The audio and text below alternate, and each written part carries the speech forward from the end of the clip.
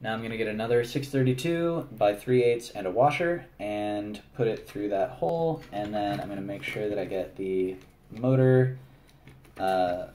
up against it and the angle bracket up against it and twist as I try to move the angle bracket around until it feels like it catches. There it caught and now I'm going to tighten it down uh, somewhat firmly but not super tight. Again, we'll do that uh, in the next,